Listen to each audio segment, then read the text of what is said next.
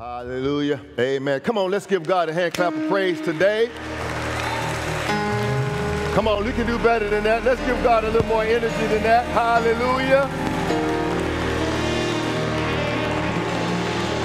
Amen. Amen. Amen. God is good. And all the time. Hallelujah. Hallelujah. Amen. Our praise is not predicated on what's happening on the outside.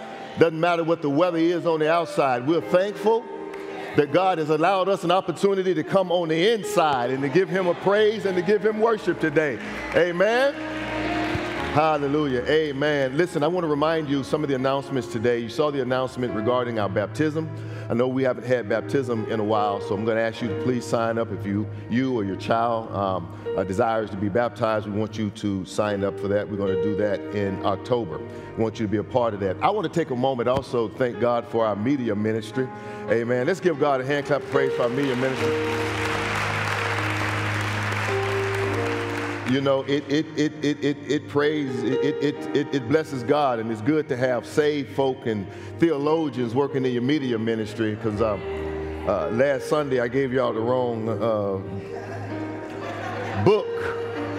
I was so excited to preach. I gave y'all John, and I was preaching from Matthew, but the media. amen, amen. But I was, I was, I was hungry to get it out, and I thank God. I thank God for our media ministry on today. Listen, I, I want to get right into the Word of God today. So if you have your iPhones, your iPads, you would turn with me, Old Testament book of Judges. Judges. We thank God for our cyber sanctuary, those that are worshiping us online today. We thank God for you. Judges chapter 6. Judges chapter 6, beginning at verse 11. Judges chapter 6, beginning at verse 11. You have it? Say, I got it. Now the angel of the Lord came and sat under the terebinth tree, which is in Ophrah, which belonged to Joash the Abiezrite, while his son Gideon threshed wheat in the winepress in order to hide it from the Midianites. And the angel of the Lord appeared to him and said to him, The Lord is with you, you mighty man of valor. Gideon said to him, O my Lord, if the Lord is with us, why then has all this happened to us? And where are all his miracles which our fathers told us about, saying, Did not the Lord bring us up from Egypt? But now the Lord has forsaken us, delivered us into the hands of the Midianites. Then the Lord turned to him and said, Go in this might of yours you shall save Israel from the hand of the Midianites. Have I not sent you? So he said to him, Oh, my Lord, how can I save Israel? Indeed, my clan is the weakest in Manasseh, and I'm the least in my father's house. The Lord said to him, Surely, somebody say, Surely, surely I will be with you, and you shall defeat the Midianites as one man. Can you say amen? amen. Today, t- today we're still in the series uh, titled The Divine Assignment. And family, this morning uh, I need you to embrace the eternal fact that you have a divine assignment on your life. I need you to say it with me this morning. Say, I believe, I believe that, I that I have a divine assignment. That was good, but I want you to say it from your chest this time. Say, I believe that I have a divine assignment. Come on, let's give God a hand clap of praise right there. Spirit of the living God, we come before you today and we dare not begin anything without acknowledging you as the head of all things.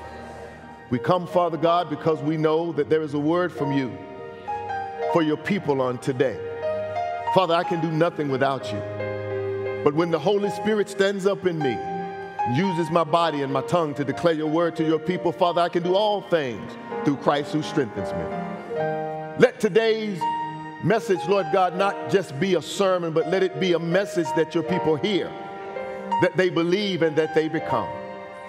Remind them through your preached word on today that they're here. You left them here in the earth realm for a reason and a purpose, and that is because there is a divine assignment on their life, an assignment that no one but them can fulfill. So, Father, we ask today that you would have your way in the midst of this service. Be God in this place today. We give you the praise and the glory that's due your holy name. And all the saints of God said, Amen. Amen. Amen. Amen. You may be seated. As you take your seat, somebody shout divine assignment. divine. Hallelujah. We all have a divine assignment. Family, a divine assignment will require you to have divine insight, divine strategies, and divine guidance. Divine insight, divine strategies, and divine guidance. And you will need that so that you know what to do, you know how to do it, and you know when and where it is to be done. I need you to hear this this, this morning because you don't get to pick the assignment that you want while you ignore the assignment that you don't want. I believe that there are many people who are doing things because they can do it and not because they have been assigned to do it. And oftentimes, family, I need you to hear me, we don't get the results that we want because we're not operating in the assignment that God chose.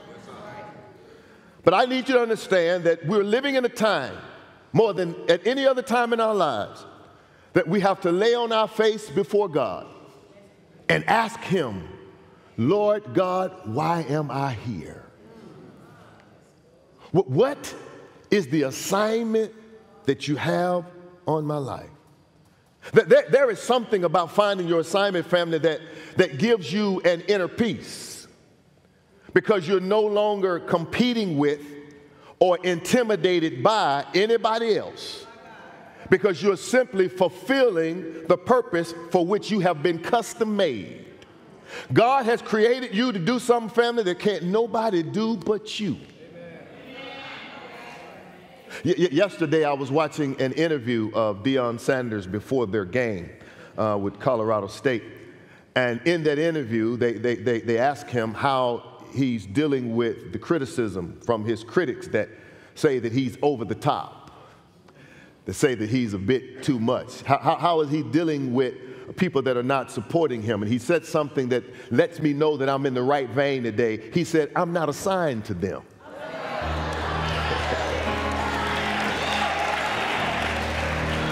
Yeah, if, if, if, if I'm not assigned to you, you will never understand me. You, you, you see, you can walk in confidence when you know you're walking in your assignment.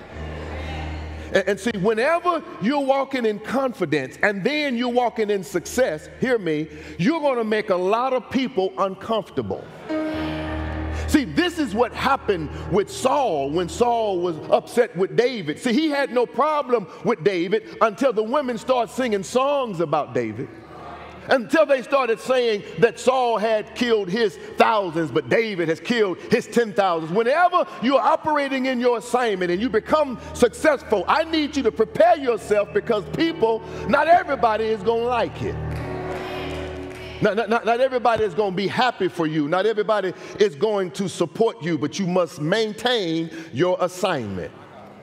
I need you to do that, family, because the attacks that are coming against you, hear me, they do not fit where you are.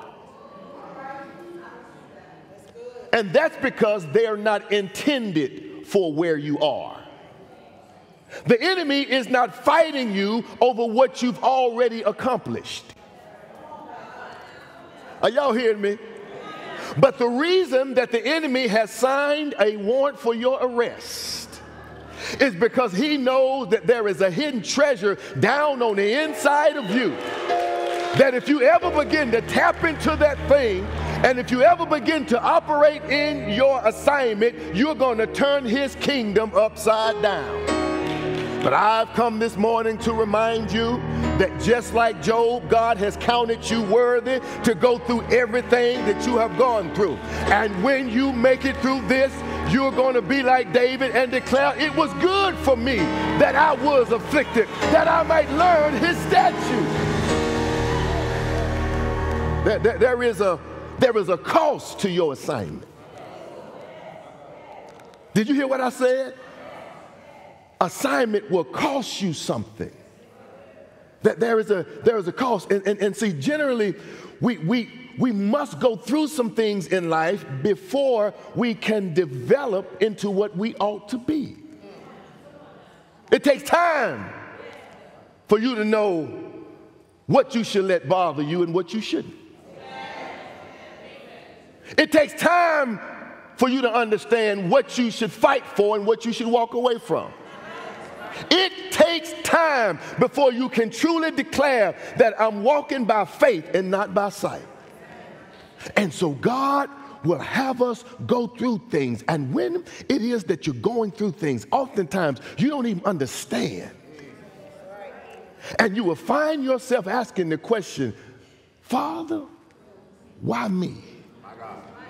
Is there anybody in here that can be real with me today and say, You've had times in your life where you look towards heaven and ask God, Father, why me?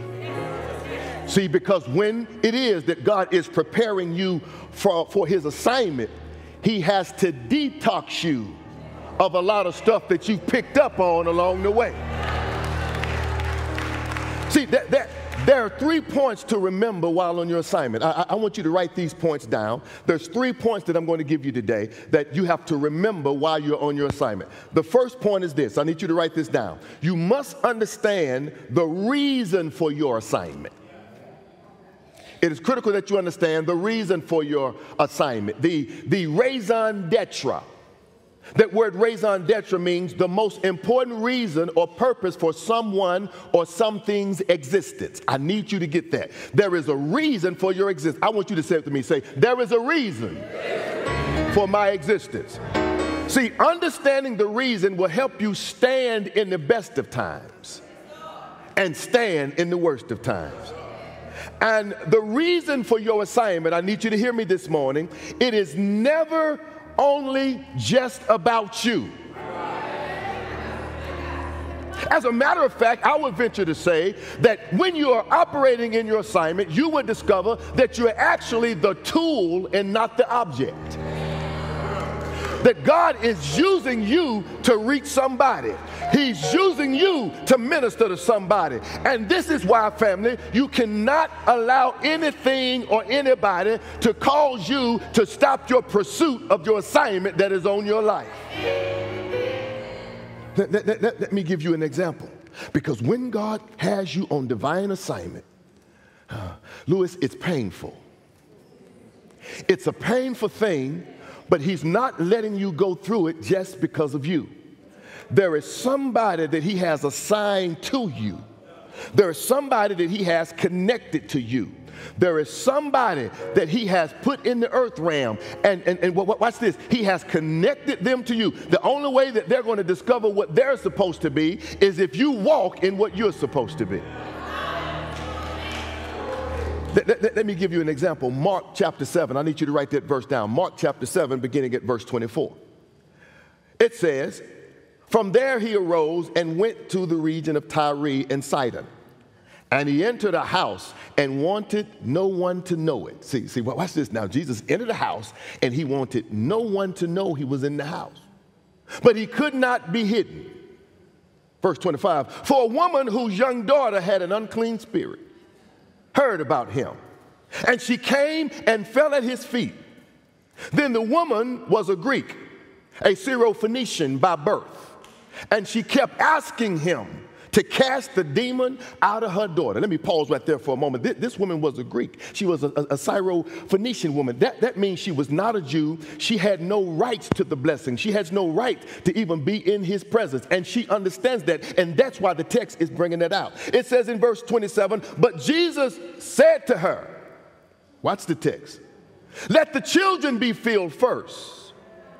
For it is not good to take the children's bread and throw it to the little dogs. Many of you would have lost your reason right there. and she answered and said to him, Yes, Lord. Yet even the little dogs under the table eat from the children's crumbs. God help me to teach it right.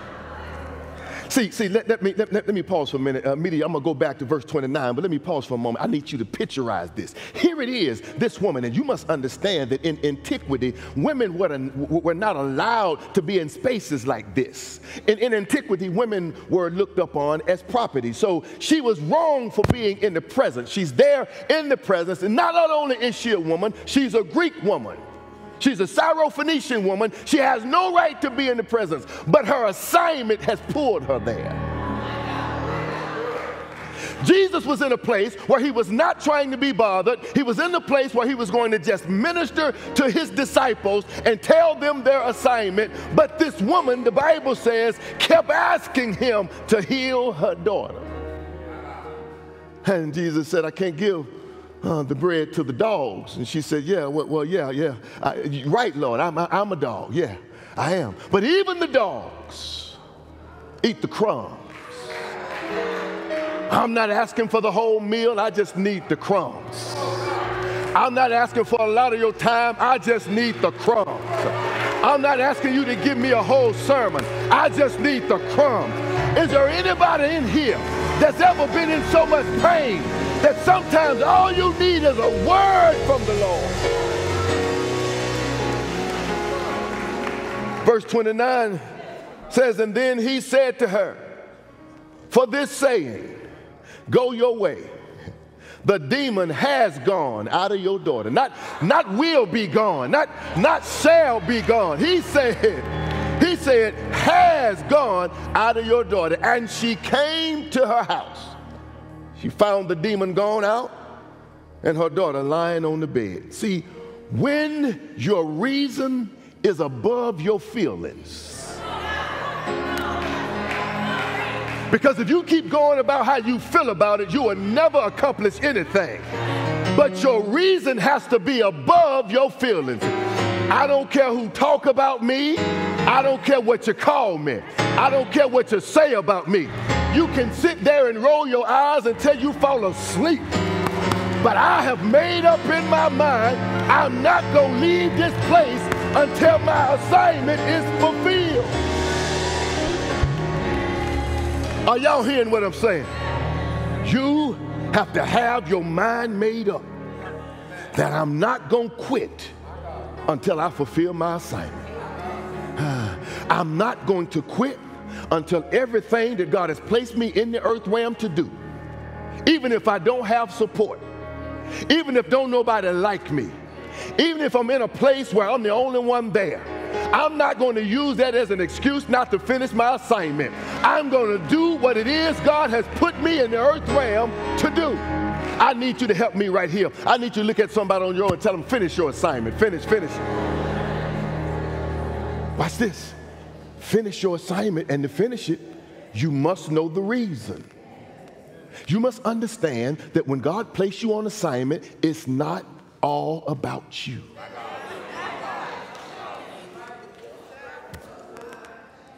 He's using you as a tool to reach somebody else.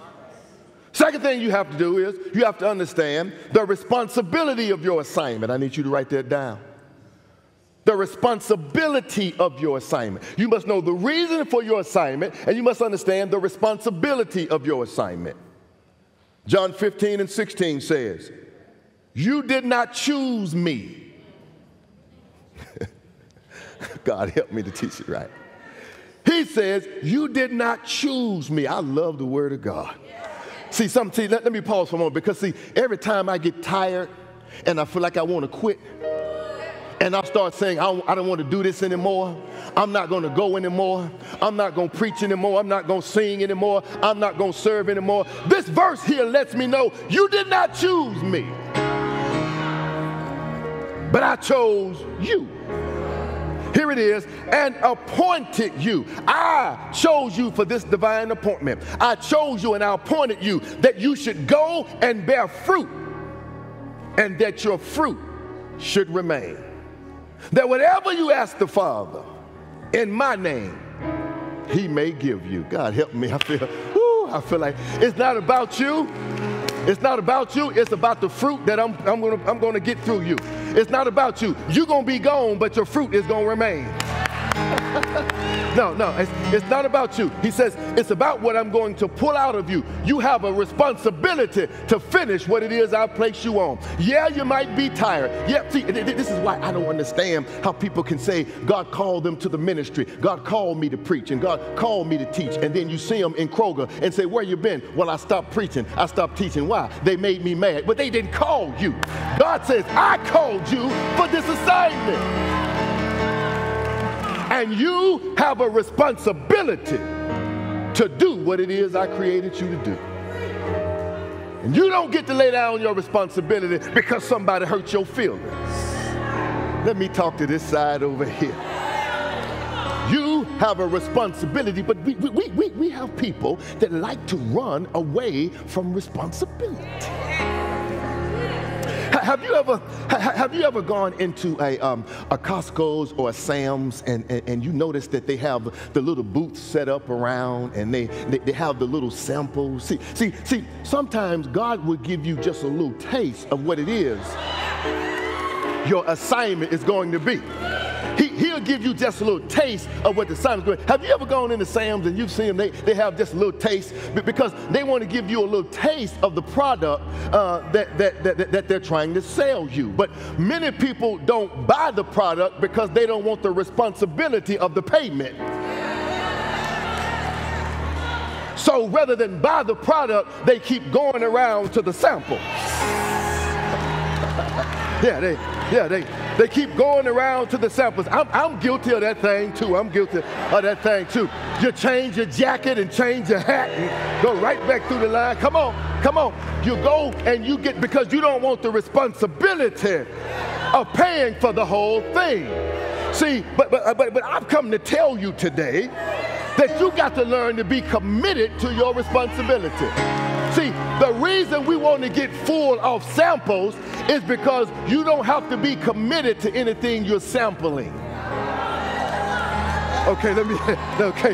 Y'all missed it. Y'all missed it on that side. Let me talk to this side. You ain't committed to nothing. You just keep on sampling. I, I wish I had somebody in here. You got to take the responsibility to be committed to this thing. Uh, I, I, I, I don't know who that was for, but that's somebody. You have to understand that you have a responsibility for your assignment. And so you come to church Sunday after Sunday just to get a sample. Uh, I'm not going to commit to anything. I'm going to come Sunday after Sunday. I'm going to get a sample. I'm gonna change clothes, I'm gonna change hat, and I'm gonna get a sample. And I'm gonna keep coming to get samples until I get filled. But I've come to tell you that God is tired of you coming to church just to get a sample.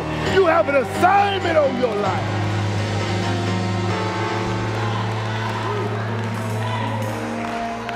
So here it is. Here it is. Watch this. I'm almost where I'm going. Because you got to know the reason. You have to know the responsibility. And here's a critical piece you have to know the relationships within your assignment. There are certain relationships within your assignment. If you think that you can accomplish your assignment by yourself, you're mistaken. If you don't need anybody's help to accomplish your vision, your vision is too small. And everybody, come here, everybody that started with you.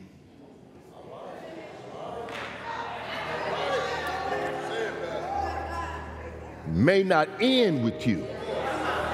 You have to learn to be okay with that. I'm asking God to bless you with the gift of goodbye.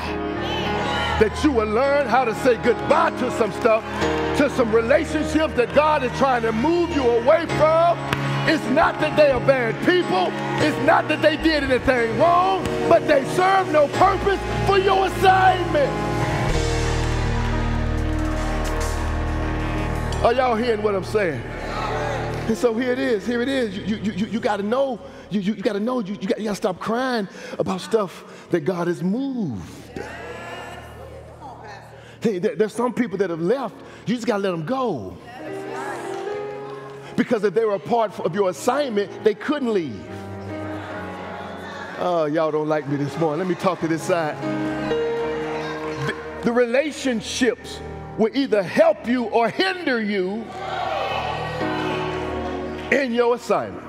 And some of you would have been on your assignment a long time ago. I don't care if you don't like me, I got to tell you. Some of you would have been on your assignment a long time ago if you weren't in a wrong relationship, the wrong friendship. I wish I had somebody in here that would be honest with me today.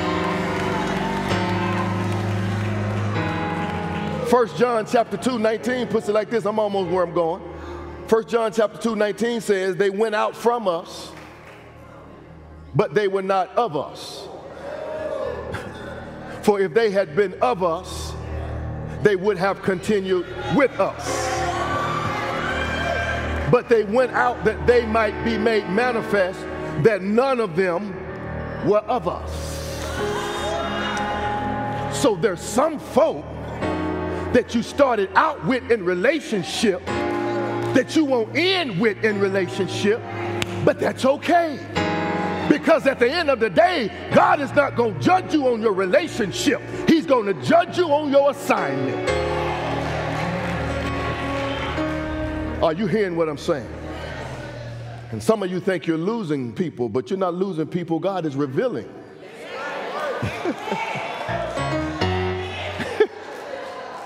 because, because association brings on assimilation. You become like those that you're around. And this is why you have to be careful. Come here. You have to be careful who you let in the inner circle. Because the enemy will use anybody to keep you from your assignment. Pastor, you don't understand. We're in the same fraternity. We're in the same sorority. We wear the same colors. We went to the same grade school together. I knew them from my high school. We grew up. Our mamas went to church together. Our granddaddies helped build that church. It don't mean that they still connected to you that there was a Mary, Mary, Mary, Mary. Mary was what was given the responsibility uh, to carry Jesus, baby Jesus. Yeah, she she was a virgin about to get married, and then the angel of the Lord appears to her and tells her, "You have been chosen for the divine assignment of carrying the seed called Emmanuel." So now here she is, carrying the seed.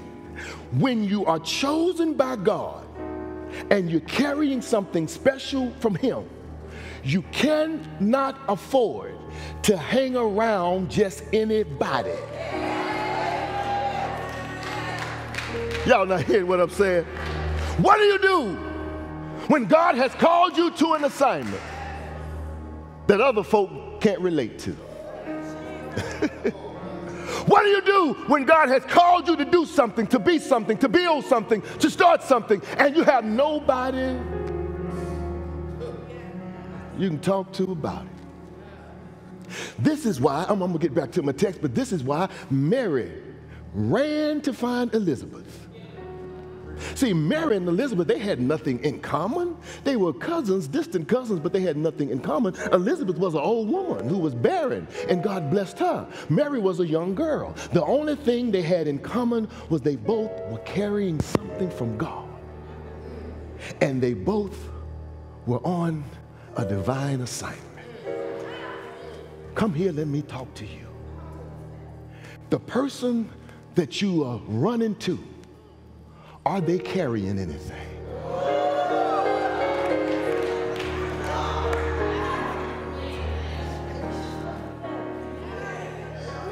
Pause. Selah. Think about that. Are they carrying anything? Or are you just so enamored by them that you've invited them to help you carry yours?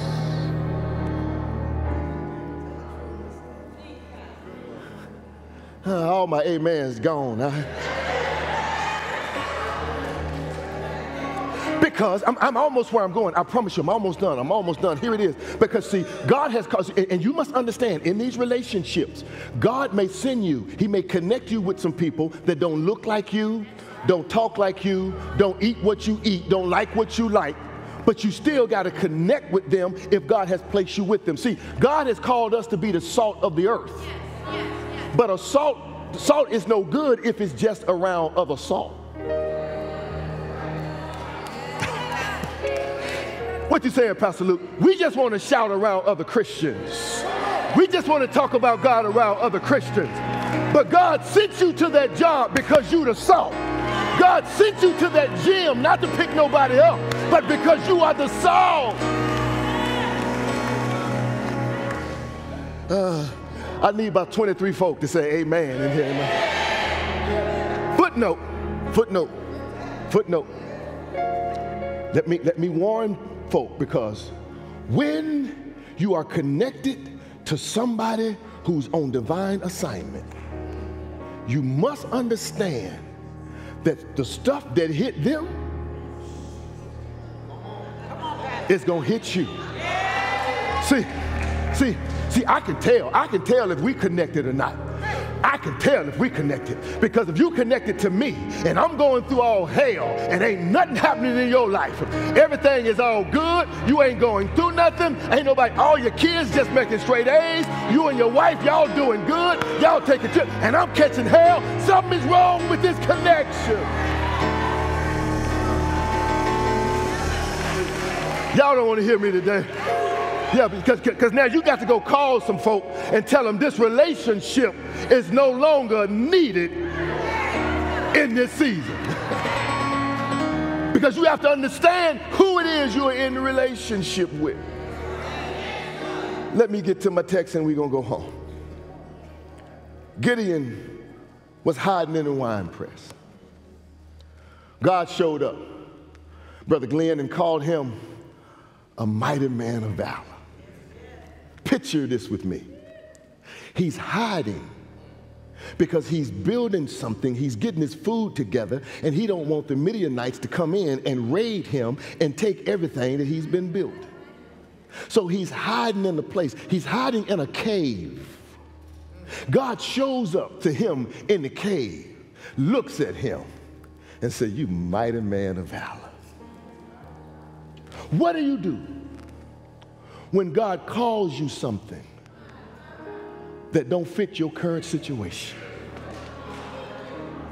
God looked at him and called him a mighty man of valor. God didn't call him by his situation, God called him by his assignment. And I've come to tell you that I don't know what it is you're battling with. I don't know, I don't know what it is you're fighting against. I don't know what it is you're hiding from. But the reason God won't let you go is because God knows that he's placed something valuable down on the inside of you.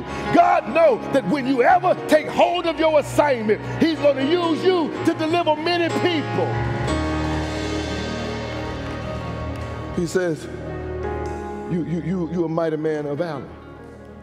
Gideon was a mighty man of valor, and he didn't even know it. He didn't even realize it. And the key to knowing what to do is first discovering who you are. Are you hearing me? Self discovery, family, is the pathway that leads to assignment. You can't go to assignment if you don't know who you are. This is why you got to lay before God first. You got to let God show you who you are because the world has identified you as one thing, and God said that is not who you are. Your parents may have even called you one thing, but God said that is not who you are. So you got to lay before God so He can give you your identity. God had to first remind Gideon of his identity before he could introduce him to his assignment. And I've come today to let you know that some of the struggles and pain you've been going through is because God is trying to get you to see who you really are. Some of the tears you've been crying have not been about the situation, it's been about your position. God is trying to get you in the right position Instead of you praying about the problem, you ought to pray about God's plan. God, what do you want? What is the plan that you have for my life? Why am I here? Why am I thus? Why am I going through this? Why is the pain so heavy? Why do I cry myself to sleep? Why did the sickness hit my body? God says, I'm trying to introduce you to yourself. So I can get you on assignment and I'm done. I'm, I'm done. But watch this, watch this. I don't want you to have to go through pain, to have to go through turmoil, to have to go through brokenness, to have to go through sickness, to have to go through loss before you discover who you are. God has not changed his mind about what it is he's called you to be and what it is he's assigned you to do. Because what God has called you to do, it don't leave just because your heart got broken. It doesn't leave just because you discovered you had cancer. It doesn't leave just because your spouse left you. It don't leave because you lost a loved one. God said, my assignment is still there.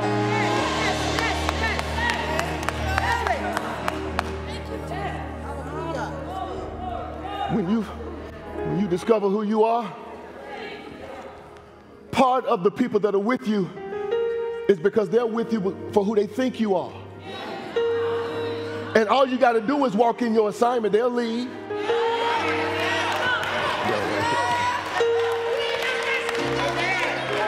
The only reason, the only reason they're still there is because of who they think you are.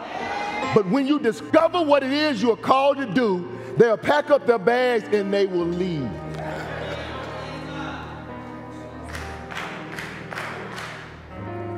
I'm done. I'm out of time. Listen. The most important, not dramatic, not charismatic, the most important message that I've ever preached Minister Cameron, is this series right here. I hope you're not listening to this for entertainment. What's more important to me than anything else? People joining the church and this happening. What's important to me is that you walk in your assignment. I need you in your assignment. Your neighbor needs you in your assignment. God needs you in your assignment. The world needs you to be on point in your assignment. Once you walk in there, it's freedom. it's peace. It don't mean the enemy is not going to try to come. He's not going to try to, he, he's going to, the weapon's going to be formed, but it's not going to prosper. Why? Because you're on assignment. I want you to get this in your spirit. When you leave this place today, you get home, you get in your car, wherever you may be, I need you to do this. I need you to find a quiet place. I don't care if you're 99 or 9 years old. I need you to find a quiet place. And I need you to ask God, Father, why did you create me? Why did you save me? Why is it the sickness didn't kill me? People died from that. Why is it people in my own family are gone and they didn't do half the stuff I did and I'm still here? Why is it this person is spending life in jail and I did the same thing that they did, but I'm still here? What is it that you want me to do? Speak, Lord. I listen and shall obey. And I'm telling you, if you do that with a diligent heart, God will speak to you. He will let you know exactly what it is he created you to be. I'm telling I'm telling you this not because I'm a preacher. I'm telling you this because I know for myself that when you get to that place where you truly seek him, he will let you know. And your water will be wetter. Your sugar would be sweeter. Things would be better because you know what you're doing. You're doing it for the Master. Stand to your feet all over the building.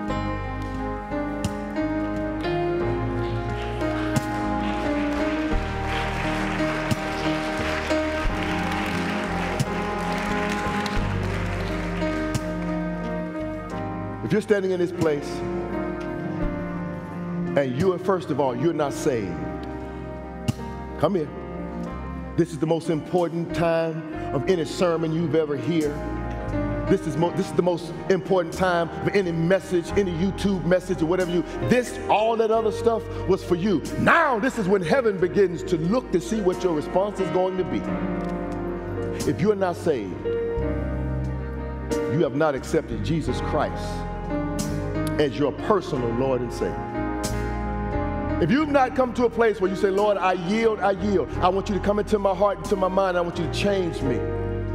He's made it so simple for us. Tradition and the world has tried to make it difficult, but He's made it simple. He's made it simple. If you confess with your mouth the Lord Jesus Christ and believe in your heart that He rose from the dead, you shall be saved. If you're standing in this place today and you know for yourself that if you were to leave this place today, if He were to call your number, you cannot say with 100% certainty that you would spend eternity with Him. This is your time, family. This is your time to make that decision today. Repeat these words after me, Father. Thank you for keeping me all of my life. I know now that you have an assignment for my life. My first step is to accept you into my heart. Your word says, if I confess with my mouth and believe in my heart that Christ rose from the dead, that I would be saved. Today, that's my confession. That's my belief. And Father, if I ever missed it, if I ever gone the wrong way, you are faithful and just to forgive me, to save me, and to keep me. Thank you today for my new life, for my new walk, and for my new assignment. In Jesus' name, amen. Come on, give God a hand clap of praise all over the building. Me a favor before we dismiss. Do me a, turn to three people and say, I'm so glad to be on this assignment with you. I'm so glad. I'm so glad to be on this assignment together. Yeah, I'm so glad. Lift your hands all over the building as I command a blessing over you before you leave this place. May the Lord bless you. May the Lord keep you. May the Lord our God cause his face to shine up on you. May the Lord our God establish you and may he give you peace. It's in Jesus' name we pray. Amen. God bless you, family. We love you. We'll see you all next week. God bless you.